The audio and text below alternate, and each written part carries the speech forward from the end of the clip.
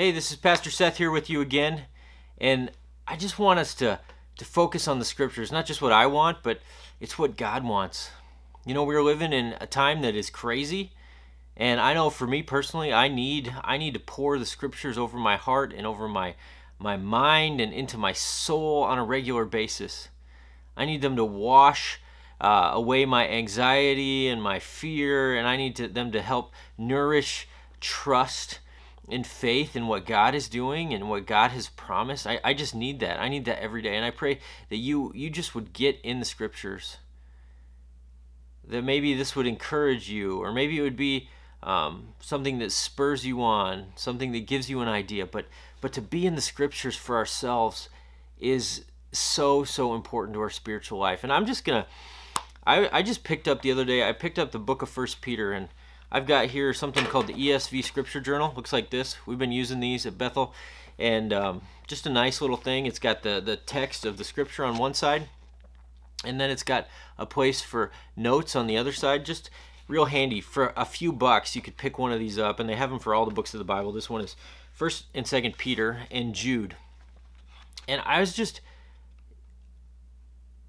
I flipped to First Peter yesterday, and I was just reading it and thinking about it, and it was just so encouraging. And I just want to read first the first couple verses and just kind of walk through it in the next few uh, days, weeks. I don't know how long it's going to take, um, but just a little verse by verse.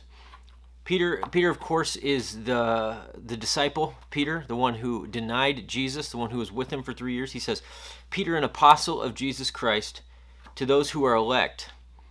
Exiles of the dispersion in Pontus, Galatia, Cappadocia, Asia, and Bithynia. That's Asia Minor, probably modern day Turkey or thereabouts, according to the foreknowledge of God the Father.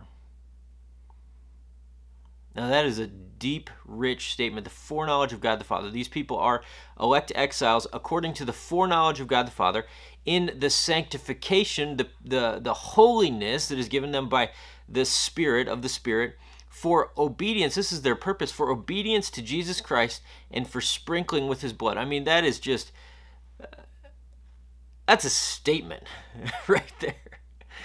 Peter is not messing around. He says, May grace and peace be multiplied to you. And friend, that's that's what God wants to bring us in the scriptures, his grace and his peace. He wants to speak that to us. He wants us to know that we are elect exiles. This world is not our home.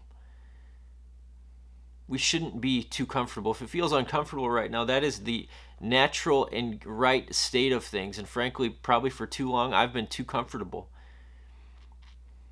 I haven't lived as an exile. I've, I've been living as something else. He says all that that is because of the foreknowledge of God the Father, the one who knows all things and is working everything according to his will in the sanctification of the Spirit. The one who comes in and makes us new, gives us a new nature. For obedience, that's a, the purpose for which we live. You know, Peter Peter denied Jesus, and then Jesus, Jesus came and gave him work to do. He said, Feed my sheep, feed my lambs, take, take care of these ones. He gave him work to do.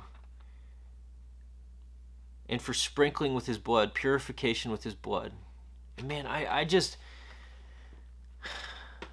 those truths are so good and so rich and I need them. I need to know them. I need to meditate on them. I'm an elect exile by the foreknowledge of God, the sanctification of the Spirit, for obedience to Jesus Christ and sprinkling with his blood. And he wants to bring me his grace and peace even today.